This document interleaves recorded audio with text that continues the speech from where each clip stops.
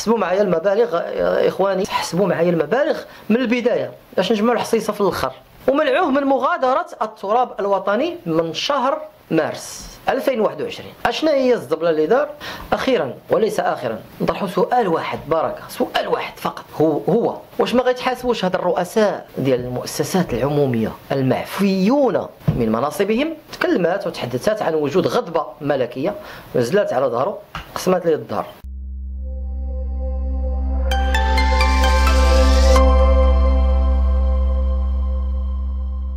في الاجتماع الأخير ديال المجلس المجلس الوزاري اللي انعقد بالدار البيضاء في الأسبوع الماضي تم إعفاء واحد المجموعة من المسؤولين ديال مؤسسات عمومية كبيرة. هاد المسؤولين راكموا الفشل مور فشل في التدبير وإدارة هذه المؤسسات خلال السنوات الماضية رغم أن هذه القطاعات حيوية ومهمة وفيها موارد وفيها فلوس كبيرة وخيالية. هذا القرار ديال الإعفاء جاء بقرار ملكي بطبيعه الحال. لكن شكون هاد المسؤولين اللي شملهم الإعفاء؟ من هاد المسؤولين المدير العام للمكتب الوطني للكهرباء والماء الصالح للشرب عبد الرحيم الحافظي وأنور بن عزوز المدير العام لشركة الطرق السيارة بالمغرب ومصطفى الباكوري المدير العام لوكالة الطاقة المتجددة.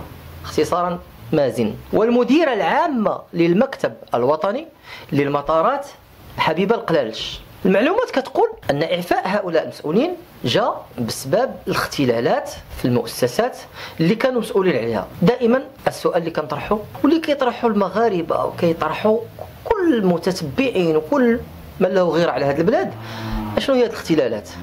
دائما كنسمعوا مصطلح الاختلالات يستعمل في مجموعة ديال التقارير ومصطلح كذلك ديال الصفقات المشبوهه كاين مصطلح ديال اختلاسات مالية أو اختلالات مالية أو أو أو إلى غير ذلك من المصطلحات اللي كتستعمل فاش كيتم إعفاء شي حد أو اعتقال أحد الفاسدين في المجال الإداري أو المختلسين إلى غير ذلك من المصطلحات. لكن فاش كنتكلموا على مؤسسات كبيرة عندها ميزانيات خيالية بالهبل فنحن نتحدث عن المال العام ديال الشعب المغربي. وفاش كيجي قرار الاعفاء من طرف الملك فنحن أمام اختلالات. واش من اختلالات؟ واش من اختلاسات؟ واش من صفقات مشبوهة؟ وما خفي أجل وأعظم؟ نرجع للموضوع ديال الإعفاءات. من أبرز المسؤولين اللي عفاهم الملك عبد الرحيم الحافظي المدير العام للمكتب الوطني للكهرباء اللي مسؤول على هذا القطاع من سنة 2018 إلى يومنا هذا واللي كتقول التقارير أن من بين الأسباب اللي تعفى من أجلها هو أنه عجز عن إخراج المكتب من الأزمة والمديونية اللي كيعرفها القطاع منذ سنوات. عرفتوا شحال شحال ديال هذه المديونية اللي بلغاتها؟ في هذه المؤسسة وفي هذا القطاع حوالي 100 مليار ديال الدرهم حتى لسنة 2022 من 2018 لسنة 2022 حوالي 100 مليار ديال الدرهم. وربما ارتفعت كتقول التقارير ربما ارتفعت هذه المديونية. والعجز في هذا العام هنا في هذا العام ديال 2024 وصلت ل 400 مليار سنتيم باش يتم تسوية هذا العجز المالي. واش عرفتوا شحال هذا المبلغ؟ شحال ديال الشعب المغربي ما غيعرفش يحسب هذا المبلغ؟ أنا كيبان لي مبلغ خيالي. السؤال المطروح هنا مرة ثانية هو فين مشات هذه المبالغ؟ شكون اللي غيجاوب لينا على هذا السؤال؟ شكون اللي غيجاوب على هذا السؤال؟ كان المفروض من بعد قرار الإعفاء بكل صراحة. من بعد قرار ديال الإعفاء كان أنهم يخرج لنا شي حد يقول لنا فين مشات هذه المبالغ ديال 400 مليار سنتيم أو على الأقل يخرج رئيس الحكومة أو الناطق الرسمي باسم الحكومة يجاوب يجاوب لنا على هذا السؤال. معليش معليش. نشوفوا أنور بن عزوز المدير العام للشركة الوطنية للطرق السيارة بالمغرب. ثاني أبرز مسؤول مؤسسة عمومية كيتعفى من هذا المنصب ديالو. كتقول التقارير بعدما تلقى العديد من الانتقادات من واحد المجموعة ديال البرلمانيين والنقابات والمواطنين على حسب ما قالوا حتى هو فشلوه في تدبير هذه المؤسسة. فين كيتجلى هذا الفشل؟ كيبقى السؤال مطروح كذلك. هذه المؤسسة اللي كتستخلص من المغاربة وكتجمع الملايير ديال الدراهم شهريا من المغاربة بدون ما كتوفر لهم خدمة في المستوى إلى جانب مشاكل ديال المستخدمين اللي خدامين يعني كانت واحد المجموعه ديال الاعتصامات واحد المجموعه ديال النضالات ديال المستخدمين من أجل نيل الحقوق ديالهم. وكذلك واحد المجموعه ديال الشكايات ديال الناس الناس العاديين اللي كيستخدموا طريق السيارة أنها كتفرض الشركة بطاقة جواز على عباد الله في طرق السيارة. ضروري تاخذ داك جواز. كيفرضوها بطرق غير لائقة صراحة بطرق غير لائقة. وأنا واحد منهم. تصوروا كيفتحوا سته ديال الممرات بالنسبة للناس اللي عندهم جواز باش يمروا. بسرعة البرق.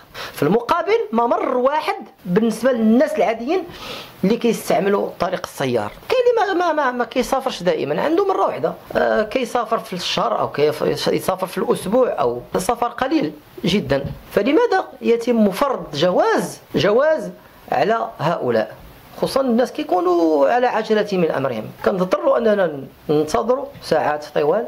من أجل المرور في ممر واحد. إلى جانب ذلك كيبيعوا للناس الشوكولات بمبلغ كبير بحجة احتفال براس السنة. كان سبق المجلس الأعلى للحسابات أنه سجل اختلالات حتى هو سماها اختلالات حول كيفية تدبير طرق السيارة وبطء الأشغال ووجه لبن عزوز انتقادات كثيرة. كذلك انتقدوه نواب في الأغلبية والمعارضة بسبب الحالة ديال الطرق والتوقف المستمر بالفعل ديال الأشغال اللي كانت وارتفاع الأسعار بالطرق واحتجاجات العمال المستمرة إلى غير ذلك. طرق السيارة في الخارج. تصوروا طرق السياره في الخارج من بعد ما كيرجعوا الفلوس ديال ديالهم باش باش تصوبات وتنجزات هذه المشاريع كتولي فابور وبالمجان. لمسنا ذلك في, في إيطاليا وفي إسبانيا. بالمجان. حنا في المغرب كل عام كيزيدوا في الثمن ديالها. معليش. نشوفوا مع المديرة العامة للمكتب الوطني للمطارات. حبيبة القلالش. اللي جات في الرتبة الثالثة ديال هذا الإعفاء. واللي لقات راسها أمام فضيحة فاش رجعات من ميريكان التقارير تتقول أن الشركة المحظوظة الفائزة بمختلف صفقات المكتب حصلت منذ سنوات منذ سنوات. وهي كتحصل على صفقات سيارات المعدات الكهربائية في مطارات المملكة كلها بالإضافة إلى واحد العدد كبير من الصفقات. من صفقات أخرى اللي كتعلق بالمطارات. ماشي الصيانه صفقات أخرى كتعلق بالمطارات. لكن فاش عطات ريحة الخنز ديال هذه المؤسسة وديال هذه المسؤولة فوق القياس غتجي وزارة النقل واللوجيستيك غتصدر قرار بتوقيف هذه الشركة بشكل مؤقت من الاستفادة من هاد الطلبات ديال العروض ديال مكتب المطارات. علاش؟ لأن بسبب الاحتكار ديال الصفقات المشاريع اللي كينفذها المكتب. احتكار من طرف واحد فقط تغول ديال هؤلاء بزاف. وصل مجموع الصفقات 160 مليون ديال الدرهم أي حوالي 16 مليار سنتيم. حسبوا معايا المبالغ إخواني متتبعي موقع ريحانه بريس حسبوا معايا المبالغ من البداية. باش نجمعوا الحصيلة في الأخر. أما الإعفاء الرابع فقد شمل مصطفى الباكوري المدير السابق للوكالة المغربية للطاقة المتجددة. هاد خونا في الله تعفى من المنصب ديالو بشكل رسمي غير رسمي منذ سنوات. وتم إخضاعه للتحقيق ثلاث سنين.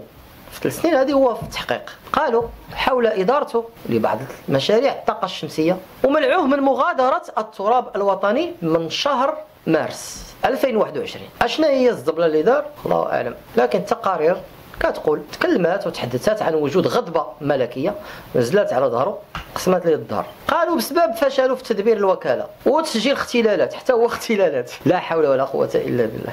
اختلالات. ديما هذا المصطلح ديال الاختلالات تابعنا بدون ما نفهموا. أشنو هي هذه الاختلالات اللي كيديروا هؤلاء الناس؟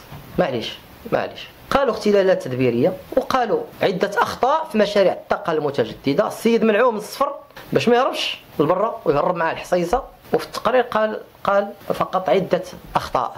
هذه الأخطاء قالوا على مستوى مركب نور لفورزازات الذي يعتبر أول مركب دولي وإفريقي من حيث نهار مصدر البلاغ ديال الدول الملكي على وجود تأخر في مشاريع الطاقة المتجددة اختفى الباكوري عن الأنظار ولم نسمع له ركزة حتى سمعنا بقرار الإعفاء. كذلك سبق التقرير المجلس الاقتصادي والاجتماعي أنه تحدث عن وجود اختلالات.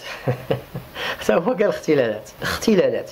اختلالات في التوازن المالي داخل هذه المؤسسة وطلب من الدولة هذا المجلس الاقتصادي طلب من الدولة أنها تقوم بتدابير التحكيم اللازمة من أجل تجنب آه، التداعيات اللي ممكن تحصل على على على وجود هذه الاختلالات وتأثر على مالية الدولة. والتأخر اللي سجلوا القطاع في التحول الطاقي في التحول الطاقي المغربي. وفقدان الجاذبية ديال هذا الجانب هذا بالنسبة للمستثمرين الخواص في المغرب وخارج المغرب.